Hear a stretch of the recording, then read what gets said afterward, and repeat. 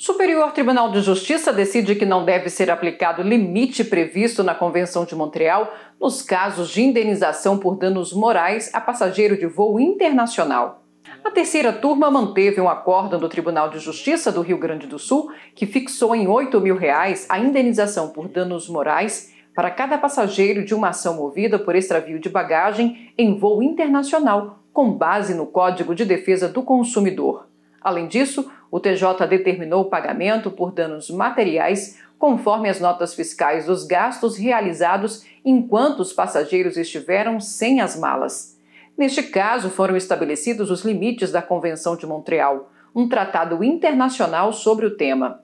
A companhia aérea recorreu ao STJ, afirmou que os conflitos sobre extravio de bagagem deveriam ser resolvidos pelas regras dos tratados internacionais ratificados pelo Brasil.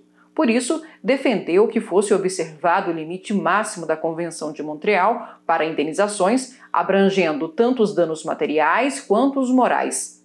Mas, no entendimento do relator do recurso no STJ, ministro Moura Ribeiro, o tratado internacional se refere apenas aos prejuízos materiais e que, na época em que a convenção foi firmada, não se cogitava a indenização por danos morais. Por isso, o ministro concluiu que a indenização por danos morais deve observar o princípio da efetiva reparação previsto no Código de Defesa do Consumidor.